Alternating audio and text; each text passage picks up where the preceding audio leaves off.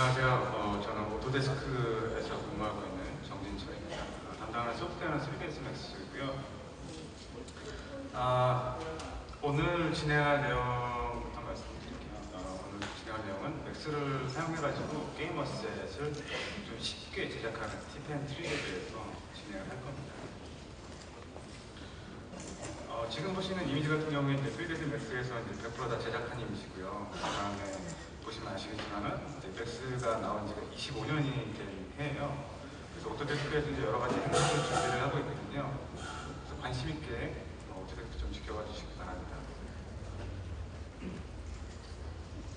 자, 그럼 오늘 진행할 내용부터 이제 설명을 드릴게요. 이렇게 총 다섯 개를 진행할 건데 첫 번째로는 아마 이제 많은 분들이 접하셨을 수도 있는데 이제 Kinect 마이크로소프트 Kinect를 갖고 이제 MotionBuilder랑 연결을 해가지고 어, 모션 캡처 데이터를 얻는 방법에 대해서 소개를 드릴 거예요.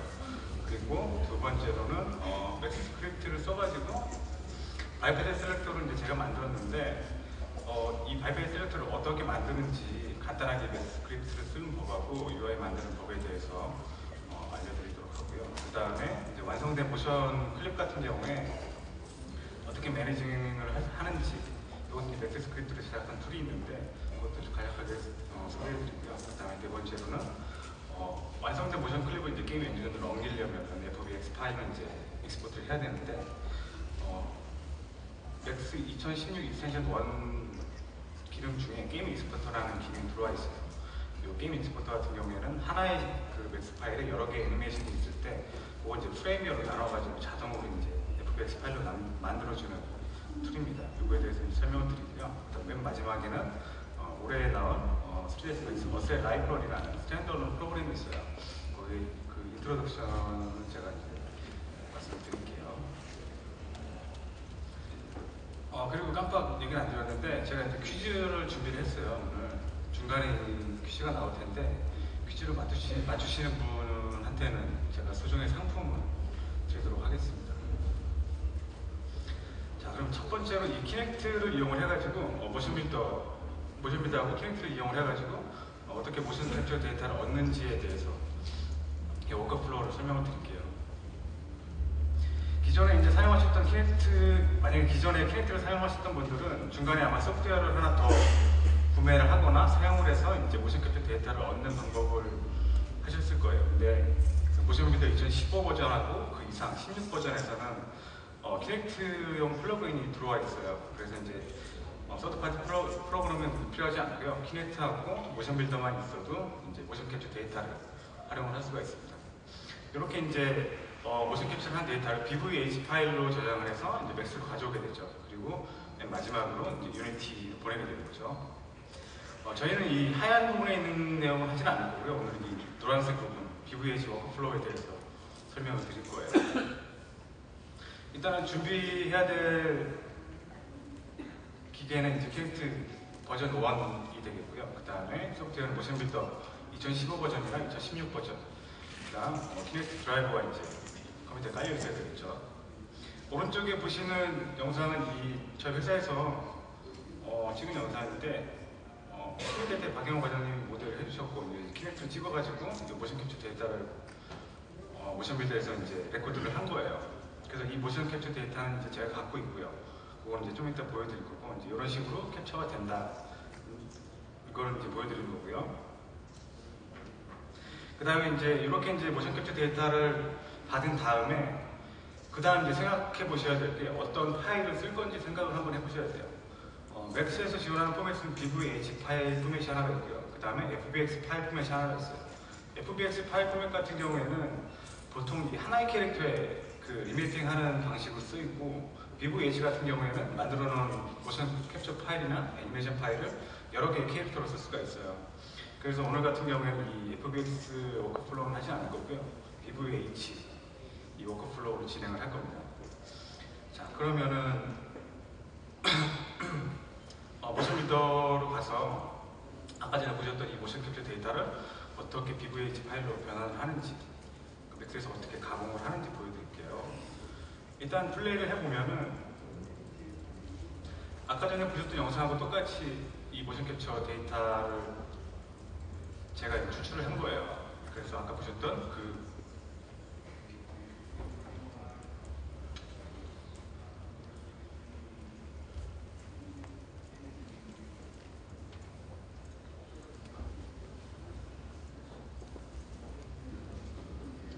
잠깐만요. 커넥션에 문제가 있는 것 같은데.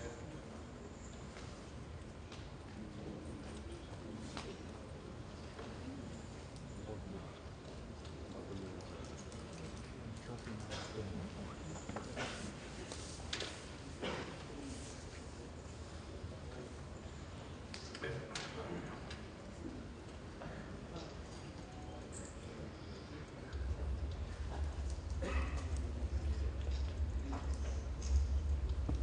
지금 보시는 이 모션 캡처 파일이 아까 전에 보셨던 모션 캡처를 했던 그 이제 모션 파일입니다. 이런 식으로 이제 모션 캡처 데이터를 저는 record를 했고요. 이거를 이제 BVH용 파일로 이제 내, 내보내야 되죠. 근데 BVH용 파일로 내보내기 위해서는 BVH용 structure를 써야 돼요. 그 structure를 쓴 다음에 그 파일을 저장해서 Max로 보내야지 Max에서 읽을 수가 있어요. 어, 그 structure 파일은 이제 제가 미리 좀 만들어놨는데 시간이 오래 걸려가지고 지금 보시는 모든 데이터는 이제 제가 웹에다가 올릴 거라서 필요하신 분들은 웹에서 다운로드 받아가지고 사용하실 수 있게끔 이렇게 조치를 취하겠습니다. 여기 보시면은 조그맣게 노란색 skeleton이 보이는데 이게 이제 BVH용 skeleton이에요.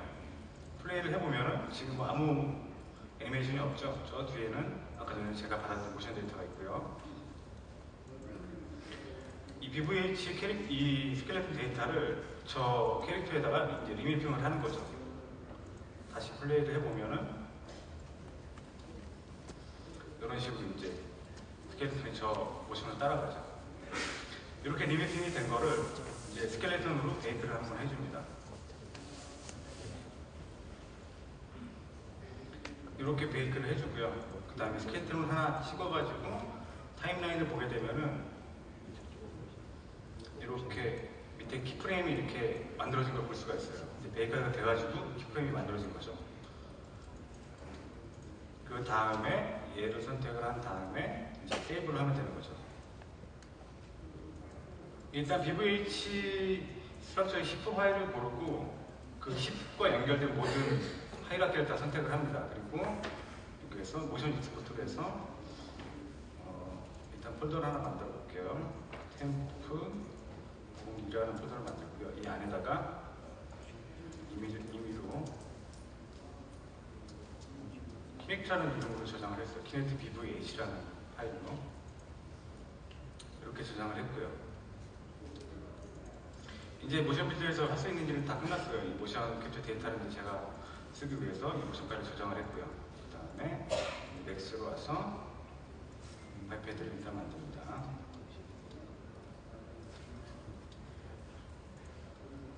Biped를 만든 다음에 모션 탭에 보면은 여기 모션 캡처라는 탭이 있어요. 이 모션 캡처 탭을 누르고 파일을 방금 전에 저장했던 Kinect라는 이 파일을 잠시만요. 다시요. BVH 파일을 이제 열겠습니다.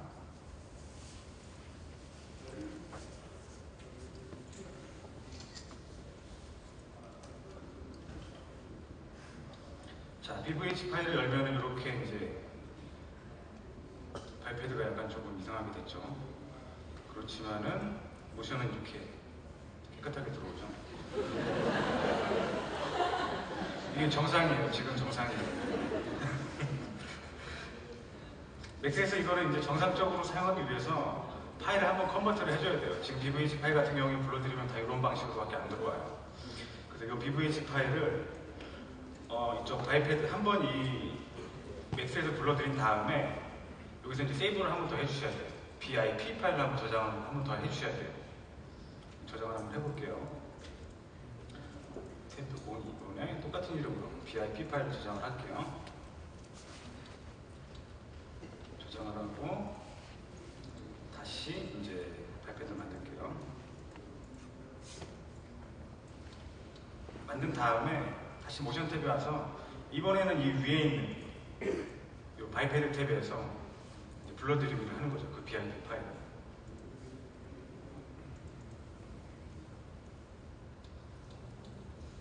자, 이제 정상이 됐죠.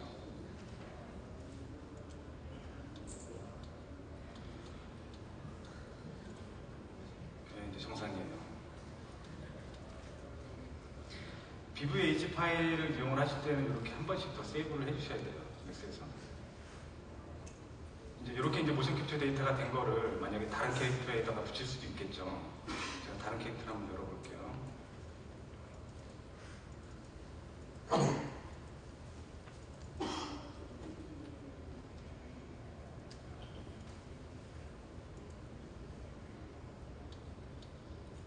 자, 여기다가 그냥 아까 전에 만들었던, 방금 전에 만들었던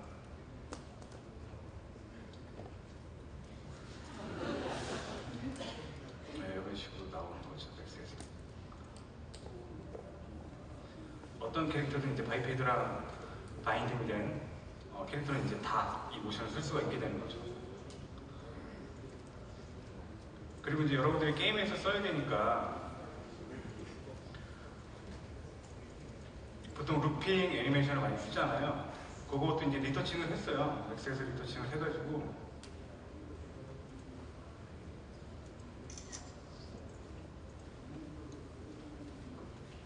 이렇게 cycling 애니메이션이 되도록 그리고 모션 클립 하나를 저장을 한 거죠. 그러면 이 모션을 갖고 이제 여러 가지 캐릭터에 적용을 할 수가 있겠죠.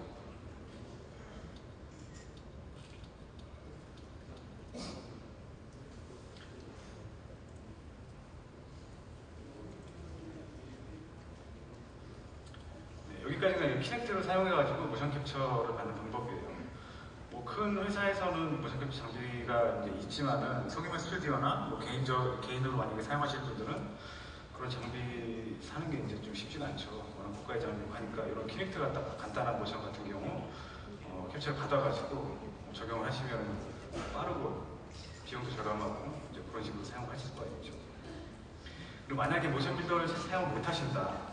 그런 분들은 어, 이 중국 회사에서 만든 건데 Easy Mocap이라는 소프트웨어가 있어요. 요거는 이제 바로 어, MotionBuilder 거치지 않고 어, Max 안에서 이 모션 캡처를 할 수 있는 그런 소프트웨어입니다. 문제는 뭐냐면 이게 32비트용 소프트웨어에서밖에 안 돌아가요. 그리고 버전도 굉장히 낮은 버전에서밖에 안 돌아가요. 그래서 이제 오늘은 약간 소개 형식으로 해드리는 거고요. 어, MotionBuilder를 이용하는 게 이제 가장 좀 깔끔하게 들어옵니다. 모션 같은 경우에.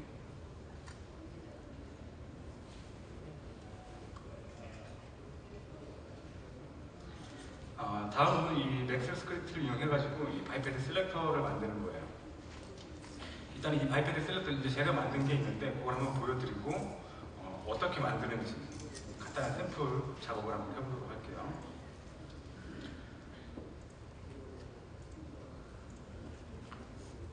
어, 보시면 이렇게 오른쪽 보시면 이렇게 코드들이 많이 있는데 이거는 이제 제가 만든 거고요. 이거를 실행을 하면은 이제 이런 창이 뜨게 되는 거죠. 아마 Max 사용하시는 분들은 이런 biped selector 같은 경우는 이제 하나씩 다운로드 받아가지고 사용을 하실 거예요. 그래서 만약에 제가 원하는 캐릭터가 있으면 등록을 하고 뭐 팔 같은 경우 select 해가지고 뭐 이렇게 돌릴 수도 있고요. 손 같은 경우는 뭐 이런 식으로 select해서 될 수가 있게 되는 거죠. 이 biped selector 사용 방법을 설명드리는 건 아니고요. 이게 어떤 식으로 만들어졌는지에 대한 내용을 지금 진행을 할 겁니다. 일단은 이 창은 닫고요.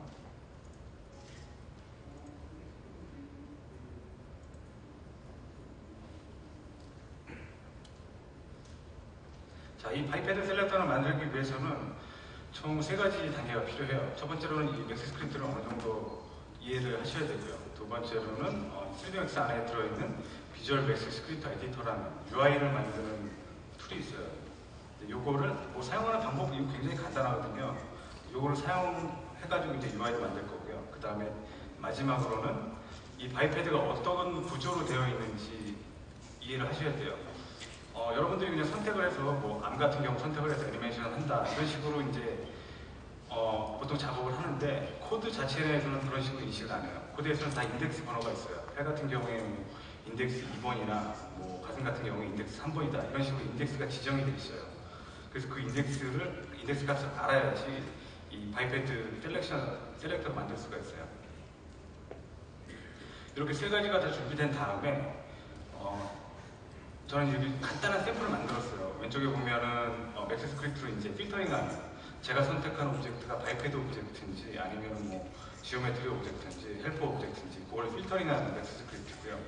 그 다음에 중간 거는 어, Visual MAXScript Editor로 만든 버튼 3개짜리 UI예요. 그리고 마지막으로는 그 hierarchy 인덱스를 이용을 해가지고 이 biped, 이 버튼 안에다 기능을 넣은 거죠. 그래서 버튼 누르면은 제가 원하는 biped가 선택이 되도록 그런 식으로 이제 간단하게 샘플 작업을 했습니다.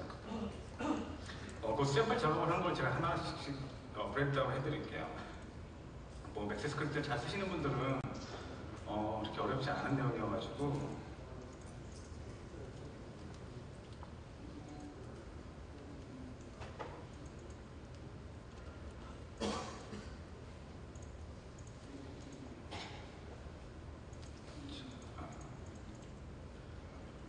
아, 여기 있는 거를 갖다가 한번 붙여볼게요.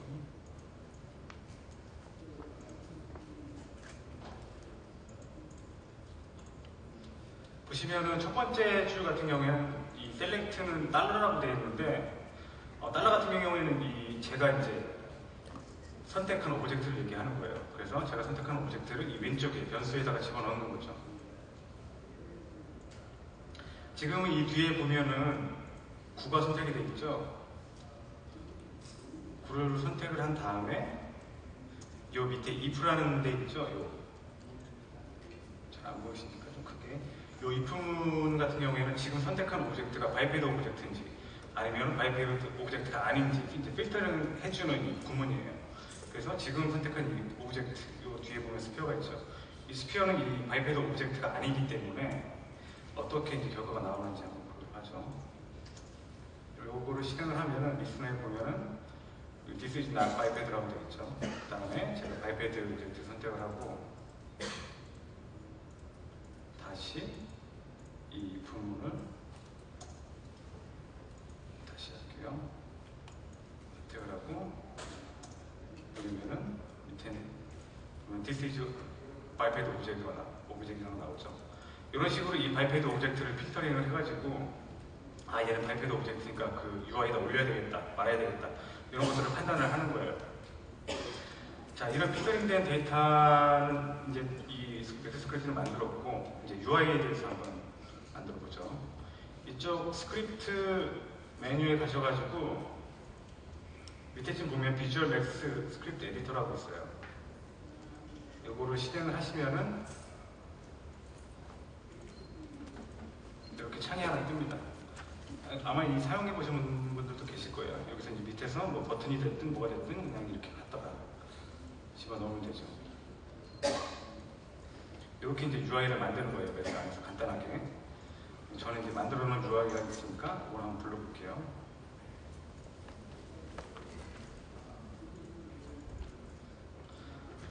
저는 굉장히 좀 간단하게 만들었어요. 이렇게 버튼 3개짜리 UI 만들었고요. 버튼에는 지금 아무 기능도 이제 연결되지 않은 상태예요. 요거를 세이브 에즈를 해서 MS 파일로 저장을 합니다.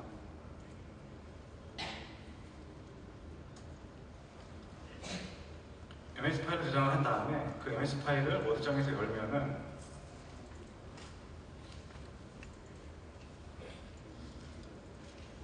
어, 이런 식으로 이제 스크립트 파일로 뽑혀져요. 이 스크립트 파일을 이렇게 긁어가지고 MaxScript 창으로 갖고 와서 붙여넣기 하면 됩니다. 지금 요 부분이 이제 제가 붙여넣기를 한 부분이에요. 이렇게 한 다음에 이제 실행을 하면 윈도우가 나타나지는 않아요. 여기다가 이제 한 줄 더 쳐 넣어야지 이제 윈도우가 나타나는 거죠. 보시면 create dialog라고 해가지고 이제 한 줄 더 만들었어요. 이거를 이제 윈도우로 만들겠다라는 명령인 거죠. 이렇게 select를 한 다음에 누르시면 이렇게 윈도우가 생성이 됩니다. 근데 버튼에는 이제 뭐 아무것도 넣어놓지 않았기 때문에 버튼을 뭐 백날 눌러봤자 지금 선택이 안 되죠. 자, 이 다시 필터링으로 돌아가서 필터링을 한 다음에 이제 이 필터링 한 값을 갖고 이 Max, 인덱스 고유 번호를 알아가지고 이제 제가 원하는 object를 선택을 해야 돼요. 그 고유 번호 같은 경우에는 어, 지금 보시는 게 이제 Max help 파일인데 이런 식으로 이제 표가 있어요. 맨 왼쪽에 보시는 게 인덱스고요. 그 다음에 이제 저희가 이제 쓰는 이 세 번째가 이제 저희가 쓰는 Biped에 쓰는 이름들이고요. 그 다음에 여기에 연결된 링크들이 이렇게 있어요. 그래서 이 인덱스 번호를 알아야지 어, 제가 원하는 object를 고를 수가 있어요. 일단 인덱스 13번부터 한번 볼게요. 13번부터 15번까지는 Biped COM이라고 이건 Biped root를 얘기를 하는 거예요. 인덱스 13, 14, 15 이렇게 Biped root가 이제 설정이 되어 있죠. 자 이제 이런 식으로 이제 hierarchy가 되어 있다는 걸 안 다음에 여기서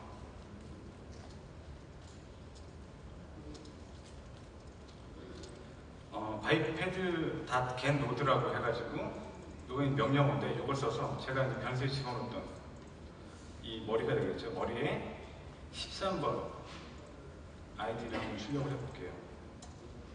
그러면 이런 식으로 Biped root가 이제 return이 돼서 나오는 거죠. 이 root를 이제 UI에다가 집어넣기만 하면 되는 거죠. 다른 걸 한번 이걸 이제 한번 select를 한번 해볼게요. 여기다 앞에다가 있는 select 이 명령만 집어넣으면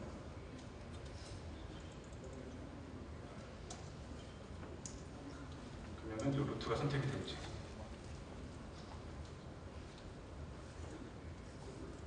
그리고 다른 거 한번 해볼까요? 3번에 2번을 한번 해볼까요? 2번에 어, 이 인덱스 2번 같은 경우에는 2번 밑에 또 하이라키 구조가 있어요. 링크라고 되어 있는데 인덱스 2번 밑에 숫자가 한 5개 정도 더 있게 되는 거죠.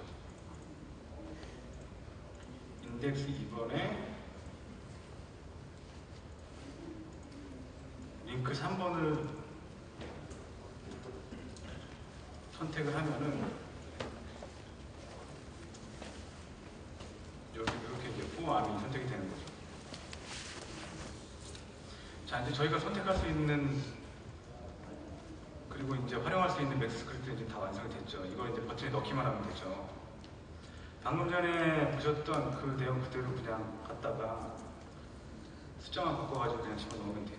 이렇게. 요 구문 같은 경우 이제 버튼을 클릭을 하면은 요 구문이 실행이 되라라는 의미죠. 그래서 1번 버튼을 클릭을 하면은 제가 맨 처음에 선택한 머리가 해당이 되겠죠. 머리가 선택이 되고요. 그 다음에 두 번째 버튼 같은 경우에는 인덱스 13번 루트가, 루트가 선택이 되고요. 그 다음에 마지막 거는 어, 2번에 3번이니까 방금 전에 봤던 이 아이콘 선택이, 선택이 되겠죠. 어, 실행을 해볼게요. 실행을 하면 다시 윈도우가 나오고요. 여기에서 버튼을 누르면은 이런 식으로 선택권이 넘어가죠. 이런 식으로 이제 버튼을 몇 개 더 만드셔가지고 이 아이디대로 링크만 해주시면 Biped selector 같은 경우에는 금방 만들 수가 있죠.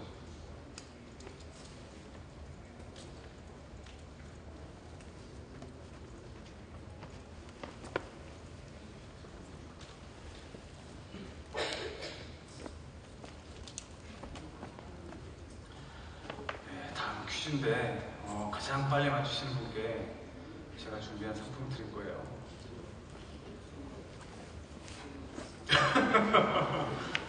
네, 손 들어주시는 분한테 저기 모자 쓰시는 분은 가장 먼저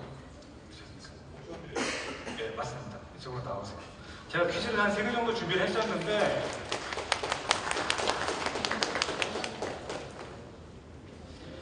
세 개 정도 준비해가지고 이제 상품을 많이 준비를 했는데 시간이 너무 없어가지고 한 분께 물어서 드리려고 이거 받으신 다음에 주인분하고 나눠주세요.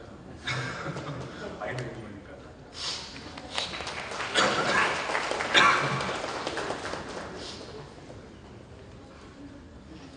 네, 정답은 MotionBuilder죠. 보셨던 것처럼. 자, 이제 다음 이제 Max, Max, Max 이제 Biped selector도 만들었죠. 자, 그러면 이제 어느 정도 이제 모션을 컨트롤해서 이제 완성된 애니메이션 클립을 만들 수가 있겠죠. 근데 문제는 뭐냐면은 이런 클립들이 너무 많아요. 제가 만약에 캐릭터 한 마리를 만들면은 얘 붙어 있는 모션이 뭐 다섯 개에서 열 개, 스무 개 정도까지 나오니까 이 파일들이 너무 많아요. 그리고 인터넷에서 받을, 수- 받을, 받을 수 있는 파일들도 굉장히 많죠. 그리고 저희가 방금 전에 한 것처럼 어, Kinect를 이용해서 모션 캡처 데이터를 받아서 쓸 수도 있고요. 또는, 또는 이제 기존에 있는 모션 캡처 파일을 쓸 수도 있고 뭐 애니메이터로 만든 모션 캡처 파일도 쓸 수가 있죠.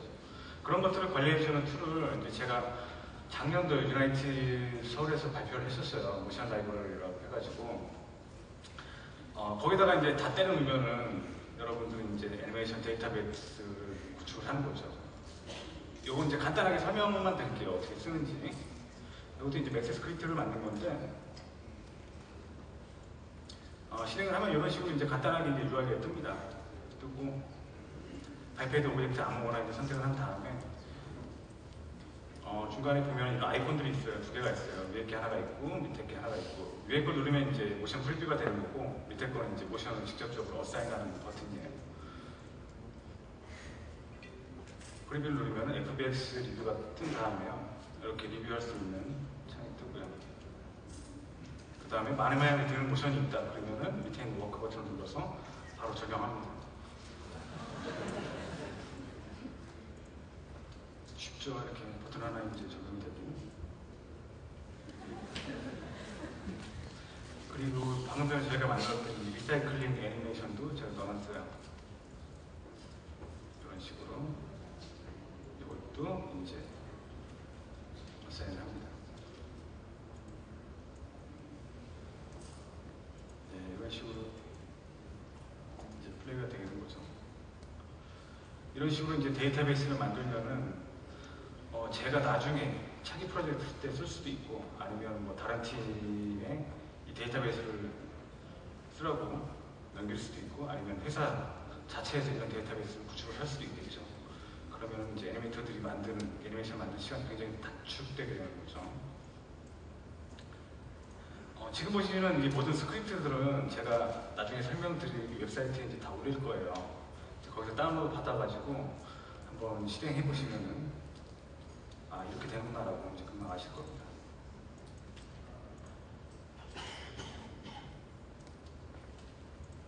아, 다운 이거 많이 경험해 보셨죠?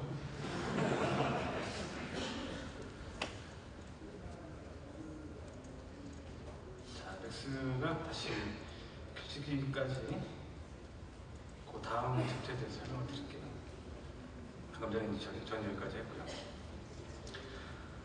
어, 그 다음 설명드릴 내용은 이제 모션 클립을 이제 다 완성을 했으면 이제 게임 엔진으로 넘겨야 되는데 이 게임 엔진으로 넘기기 위해서 보통 이제 애니메이터들이 이 FX 파일을 저장을 하는데 어, 애니메이터들 이 성향이 이제 두 개로 나눠져요. 파일 관리 같은 경우에. 첫 번째로는 하나의 파일에 한 가지 동작만 갖고 작업하시는 분들이 있고요.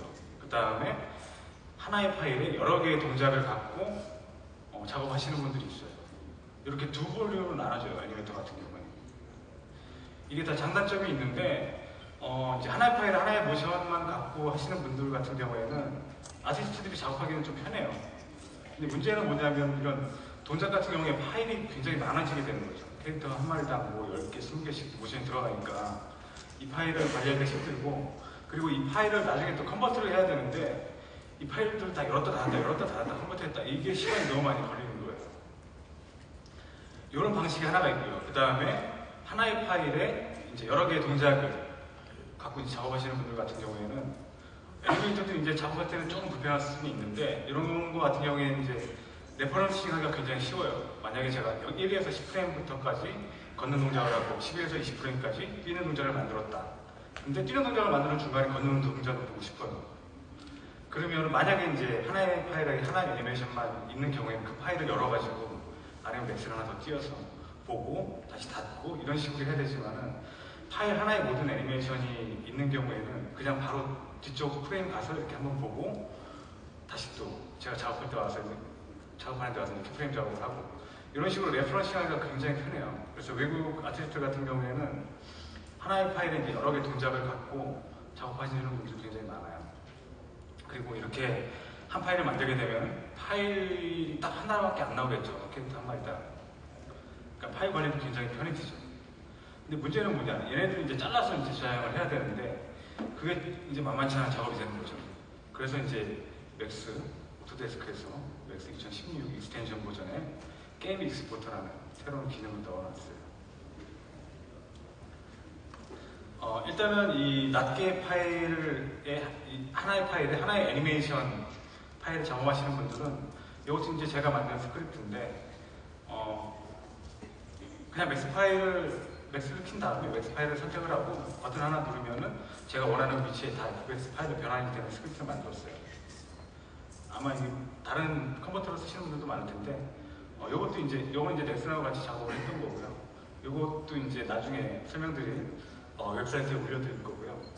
그 다음에 어, 요거는 이제 game export예요. 그래서 이제 제가 원하는 프레임, 제가 뭐 어, 10에서 요 지금 보시는 거 11에서 67프레임까지 뭐 걷는 거, 68부터 20까지 뛰는 거, 103부터 116까지는 뭐 싸우는 거, 점프하는 거 이런 식으로 이제 프레임을 나눠가지고 작업을 한 거죠.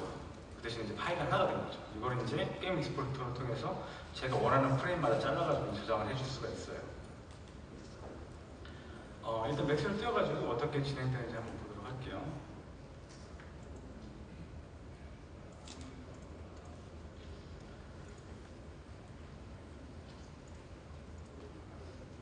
어, 일단 FBX exporter 이제 제가 만든 exporter인데 이거부터 설명드릴게요. 이거는 이제 어, 제가 이제 웹에다가 올려놨는데 다운로드 받을 수 있는 데는 이제 나중에 알려드릴게요.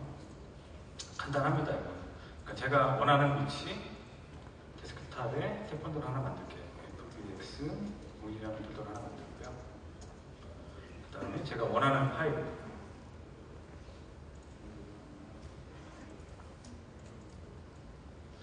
일단은 딱 세 개만 테스트를 할게요. 파일이 많으면 시간이 오래 걸리니까. 보면은 여기 이제 제가 선택한 파일하고 이제 저장된 경로가 나오죠. 그냥 여기 있는 export 버튼 누르면 됩니다. 그러면 Max가 알아서 열었다 닫았다 열었다 닫았다 하면서 FBX 파일을 저장을 하게 되는 거죠. 자, 이제 저장된 폴더를 가서 한번 확인해 보죠.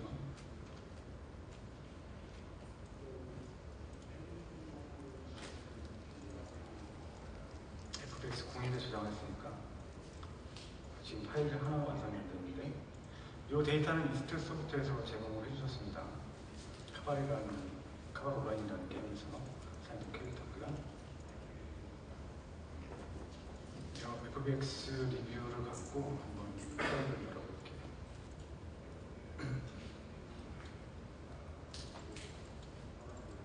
그리고 이렇게 애니메이션 된 거를 리눅스가 붙여줘. 다른 파일 같은 경우에도 똑같이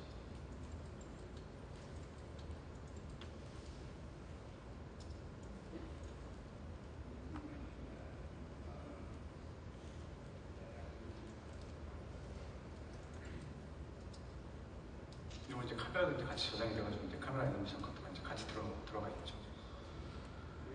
이런 식으로 이 FBX 컨버터를 사용하시면 되고요. 그 다음에 이제 저희가 이제 애니메이터가 하는 또 다른 방식인 한 파일에 여러 개의 애니메이션 파일을 한번 열어볼게요.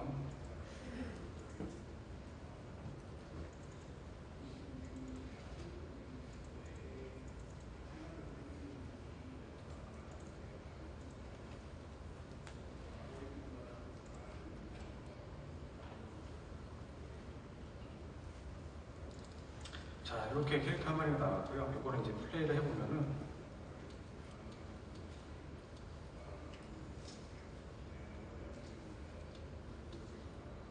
이렇게 이제 파일 하나에 이제 여러 개의 모션이 있어요. 만약에 이제 제가 뭐 이렇게 걷는 애니메이션을 만든다는데 뛰는 애니메이션을 보고 싶다. 그러면 뒤 프레임 가서 이런 식으로 이제 referencing을 해서 이제 작업을 많이 하죠 애니메이터들은.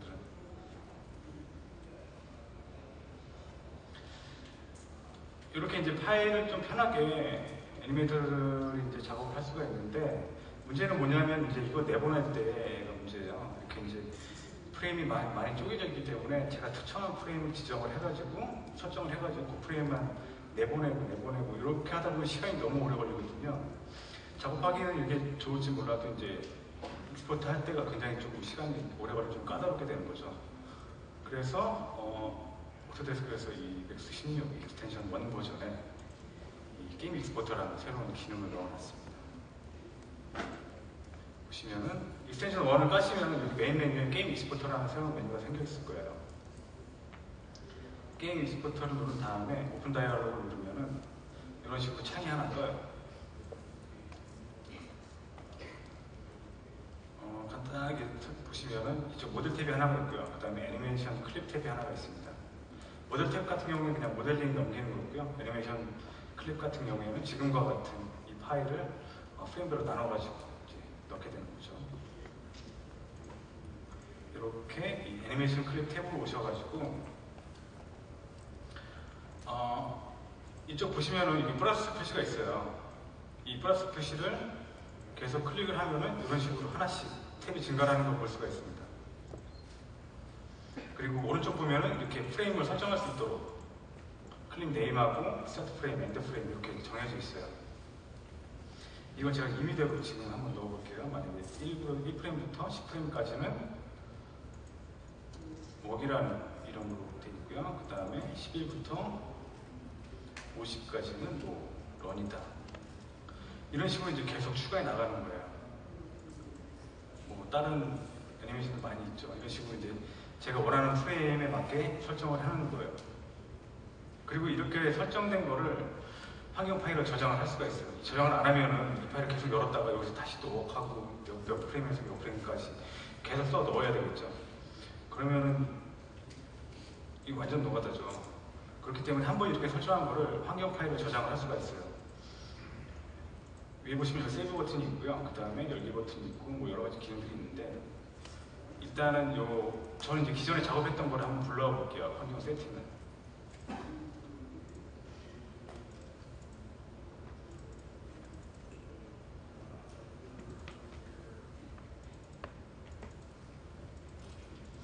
보시면은 이렇게 INI 파일이라고 해가지고 이게 이제 환경값이에요. 제가 지정했던 파일 그 프레임 설정들을 저장을 해놓은 거죠. 이걸 로드하게 되면 이제 모든 세팅이 이제 들어오게 되는 거죠. 이름하고 제가 기존에 설정했던 프레임하고 제가 애니메이션을 수정한 다음에 그냥 이 환경 변수값 저장했던 걸 그냥 불러가지고 계속 쓰면 되는 거예요. 그냥. 뭐 여러 가지 이제 FBX에 관련된 설정들이 있고요. 그다음에 이제 이게 이것도 똑같이 아웃풋 폴더를 어디다 만드냐 FBX 02라는 폴더를 일단 임의로 지정을 하고요. 그 다음에 이 file name에 prefix를 넣을 수가 있어요. 파일 앞에 어떤 특정한 문자를 넣을 수가 있는 거죠. 그리고 export 버튼을 누릅니다.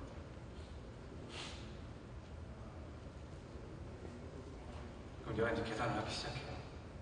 몇 프레임부터 몇 프레임까지 이제 잘라가지고 이제 다 낱개별로 저장을 하는 거예요. 시간 관계상 제가 미리 만들어 놓은 게 있습니다.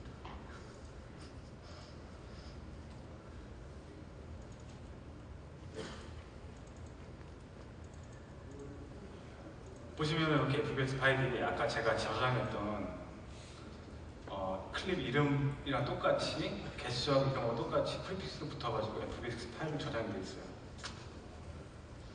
이거를 FBX Review 해가지고 한 번씩 잠깐 보죠.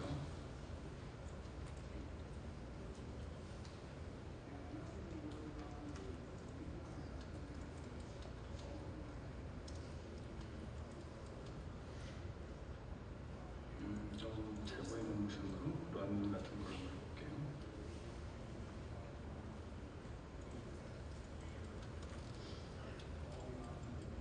네, 이렇게 딱 원하는 프레임 맞게끔 잘라가지고 자동으로 이 FBX 파일 만들어주죠. 이제 애니메이터도 이제 더 이상 고민할 필요가 없는 거예요.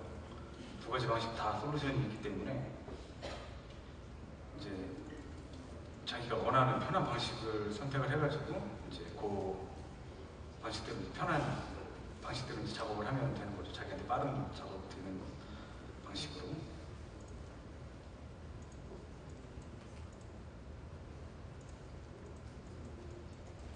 아, 예, 아직도 이게 작업을 하고 있네요.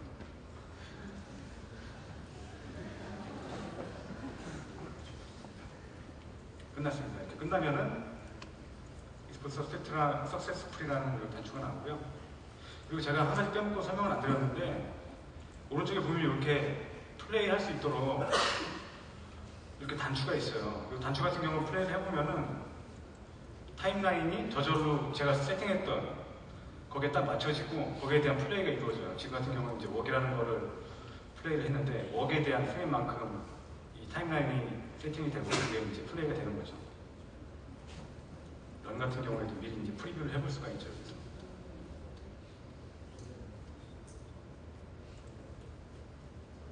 네, 이런 식으로 이제 쓸 수가 있습니다.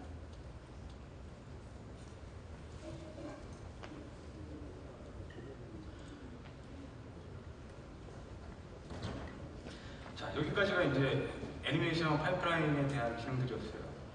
뭐 Max 스크립트도 쓰고 뭐 여러 가지 이제 뭐 motion capture 데이터도 쓰고 뭐 새로운 기능들을 써가지고 어 아마 게임 asset 만드는 파트 중에서 애니메이션 파트가 이제 가장 시간이 오래 걸리는 파- 파트일 거예요. 그래가지고 이제 뭐 TA라든가 TD 같은 분들이 tool도 여러 여러 가지 tool을 만들어주고 이제 그런 일들을 많이 하시는데 어, 저는 이제 최대한 좀 빨리 제작을 할 수 있게끔 그런 걸 이제 제안해드리는 거고요. 제가 드리는 뭐 Max 스크립트라든가 뭐 다른 tool들 같은 경우에 어, 사용자에게 맞게끔 이제 변형을 해서 사용을 하시면 됩니다. 저는 기본형만 제공을 해드리는 거고요. 어, 그냥 쓰셔도 되고 아니면 뭐 바꾸고 싶다 그러면 어, Max 스크립트 나중에 바꾸셔도 되고요. 자 그리고 이제 어, 3dmax 어셀 라이브러리에 관한 어, intro를 잠깐 보여드릴게요. 이 asset 라이브러리 같은 경우에는 어, 올해 이제 나온 프로그램이고요. 이거는 이제 Max에 이제 들어가 있는 소프트웨어는 아니고 Max standalone으로 나와 있어요. 그래서 하나의 프로그램으로 존재를 하고 Max에 어, asset을 managing할 수 있는 sub적인 tool로 개발이 됐습니다.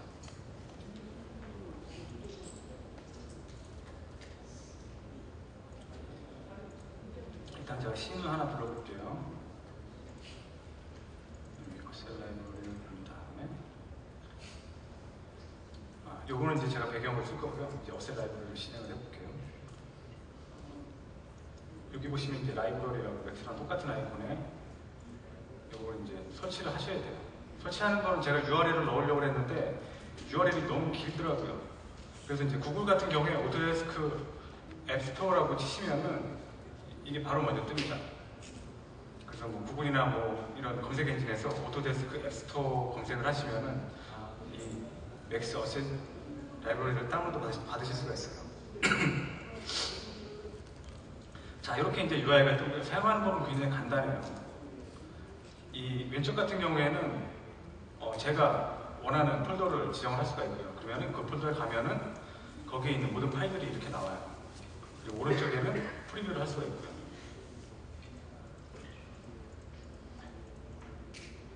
그리고 뭐 여러 개 만약에 이제 배경팀 같은 경우에 배경이 들어가는 폴더 같은 경우 등록을 해놓으면은 배경만 쫙 볼 수가 있고 캐릭터도 캐릭터 폴더만 지정을 하면 캐릭터만 볼 수가 있고 이런 식으로 이제 할 수가 있겠죠. 저는 이제 다른 제가 사용하는 것에서 한번 지정을 해볼게요. 저는 이 드라이브에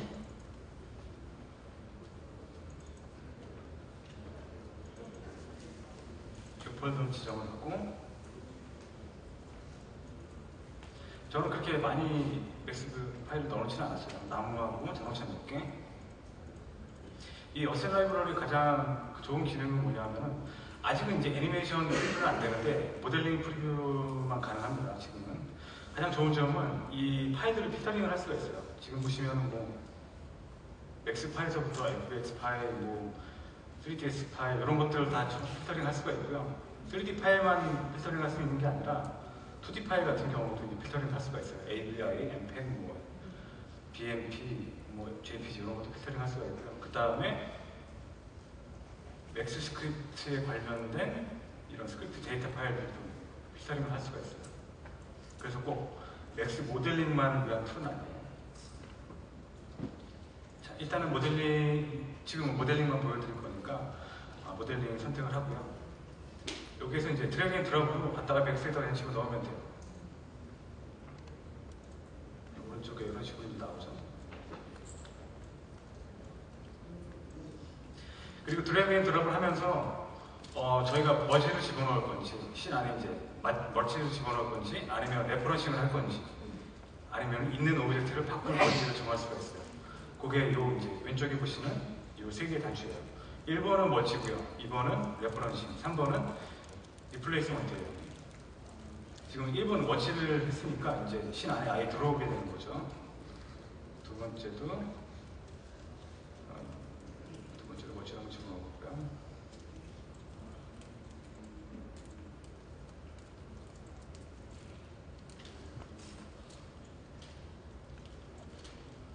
그리고 세 번째는 이렇게 referencing을 한번 해볼게요. 자동차를 한번 집어넣을게요.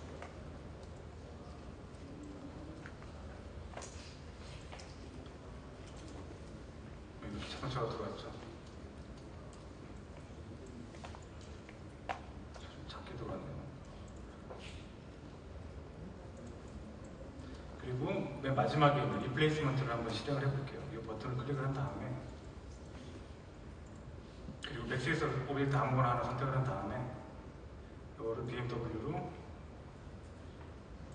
replacement를 할게요. 그러면 이렇게 기존에 있는 object가 이제 BMW로 바뀌는, 바뀌게 된 거죠. 이런 식으로 이제 게임 asset 같은 경우에 뭐 붙이거나 뭐 이런 이런 거 같은 경우 이제 이런 asset 라이브러리를 사용을 하면은 어, 조금 편하게 작업하실 수가 있죠.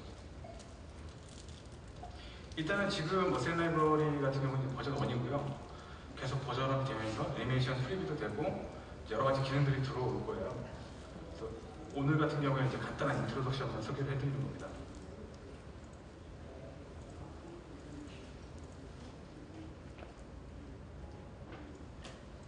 자, 이제 거의 다 끝났습니다.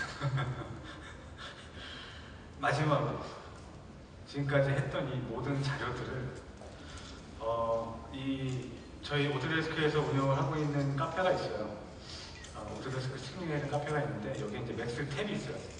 이 Max 탭에 제가 전부 다 올, 올라가는 것도 있고요. 기존에 올라간 것도 있고 만약에 올라오지 않은 것들은 제가 추려가지고 오늘 저녁이나 내일 오전까지 올리도록 하겠습니다.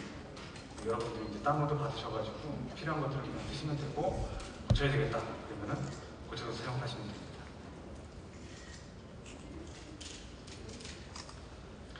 혹시라도 뭐 질문 있으신가요?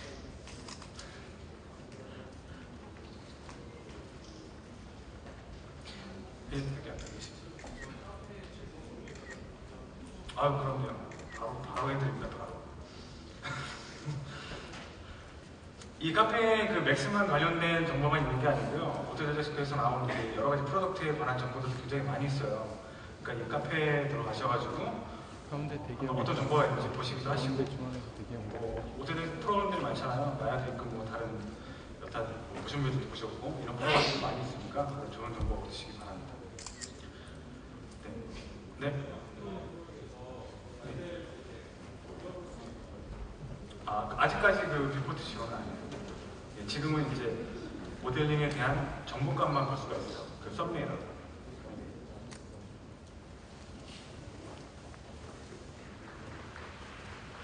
만약에 질문이 없으신데 나중에라도 또 질문이 생기신다. 예.